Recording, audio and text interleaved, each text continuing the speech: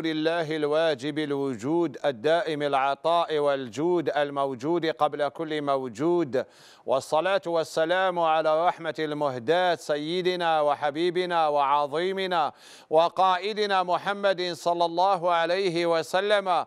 ملأ العلا بكماله كشف الدجى بجماله عظمت جميع خصاله.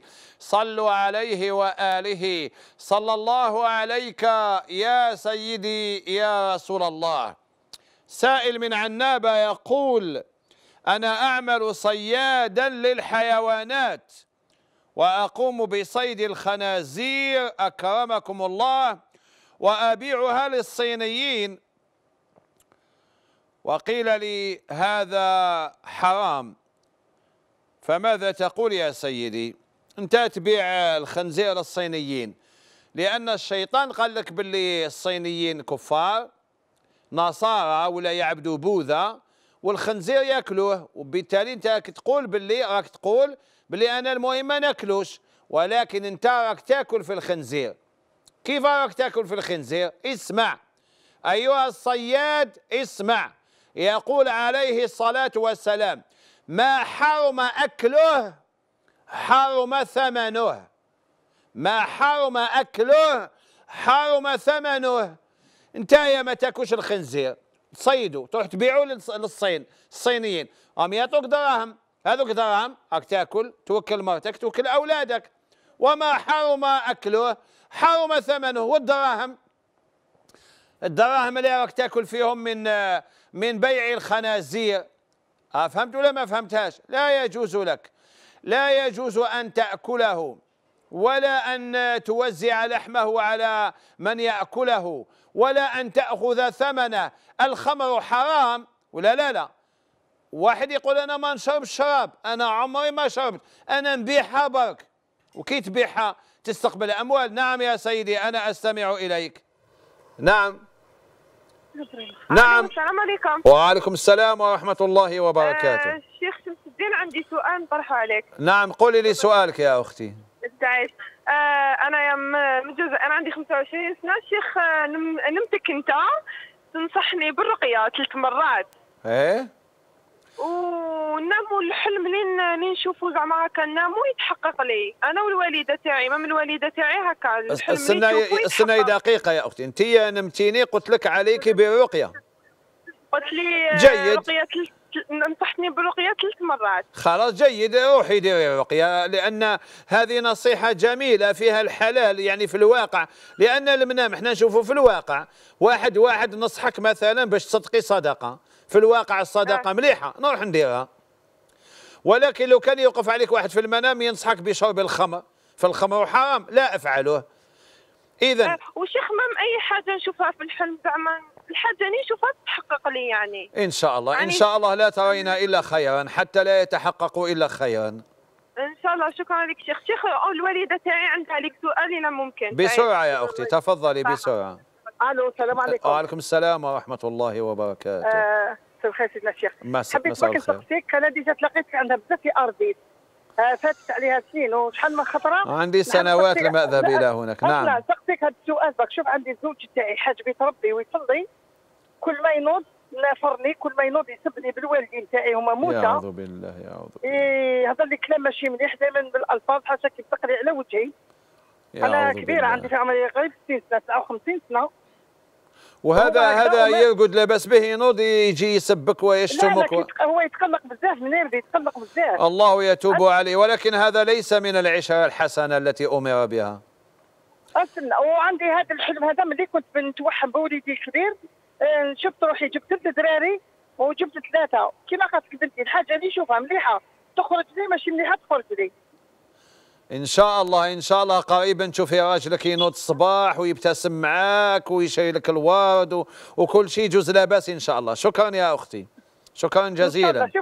أبشري خيرا. هذا اللي نشوفه؟ وشنو؟ نعم. وشنو هو؟ علمنا من النوم يخرج لي. وشنو؟ وهذه علامة خير إن شاء الله. إذا كان إنسان لا يرى شيئا إلا إذا إلا وواقع إن شاء الله علامة خير. وإن شاء الله لا ترين إلا خيرا إن شاء الله. إن شاء الله. يعطيك الصحة. الله الصحة. يحفظك يا. أختي. الله يحفظك. شكرا. سيدنا الشيخ. شكرا. الله يحفظك. يرقد ينوض يبزق على وجه مرته يا عباد ربي. هذا الإنسان هذا الإنسان ما على بالوش بلي يا ربي سبحانه. سيسخر من عباده سيسلط عليه من عباده من يذله. لما انت تروح تذل انسان ذل.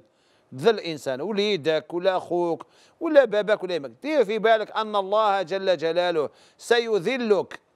وما وربي ما تعرفش ربي قادر عليك. ما تعرفش كاع الطريقة اللي حيذلك بها. فهمت ولا ما فهمتش؟ اتق الله يا رجل اتق الله. والإنسان إذا رأى في المنام يروح يشوف الواقع. الإمام البقاعي سمعوا هذه المسألة. الإمام البقاعي عالم هذا من كبار المجتهدين. جاء له واحد. قالوا يا إمام رأيت النبي صلى الله عليه وسلم يأمرني بشرب الخمر. عجب. رأيت النبي صلى الله عليه وسلم يأمرني بشرب الخمر. واش قال له الإمام البيقاعي؟ شوف شو كي تروح عند واحد عالم. قال له الذي أمرك في المنام بشرب الخمر أمرنا في اليقظة أن نتجنبها.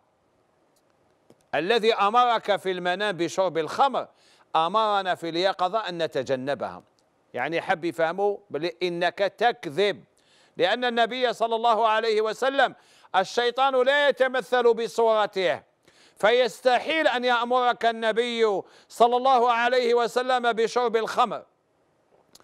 إلا إلا إذا كان المعنى انتحى أنه سيشربه في الجنة. لأن في الجنة يسمى خمرا ولكن ليس هو هذا الخمر المسكر أو قال ربي لا فيها غول ولا هم عنها ينزفون. الغول هو الإسكار.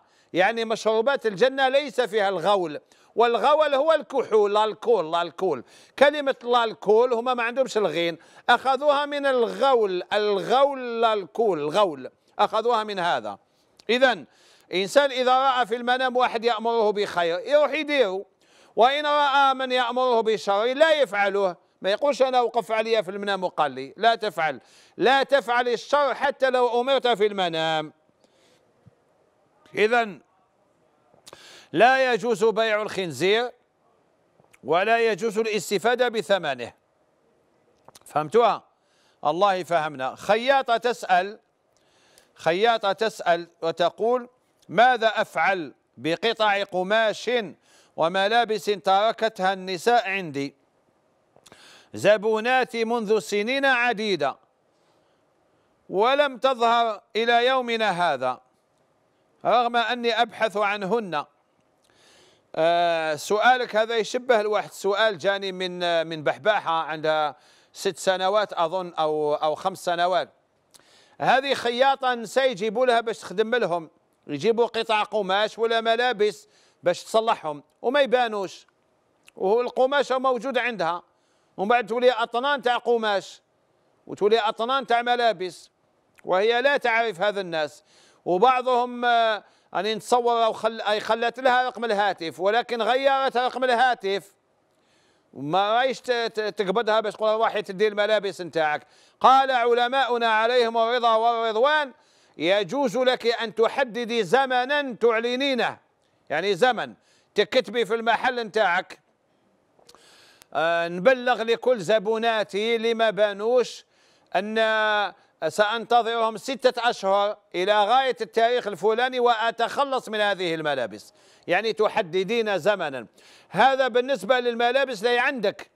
أما اللي جاتك جديدة بما أنك تعرفي بلي ممكن بعض الزبونات ما تزيدش تبان ديري معها عقد يعني. لما تجيب لك الملابس قولي لها. قولها يا أختي أنا يا راني نخدم لك.